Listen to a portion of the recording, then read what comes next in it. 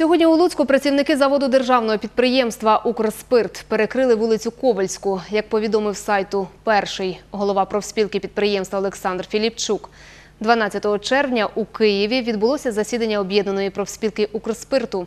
З його слів, через блокування роботи підприємства Державною виконавчою службою та податковими органами працівники 42 горілчаних заводів вирішили організовувати акції протесту у площині, дозволеній українським законодавством.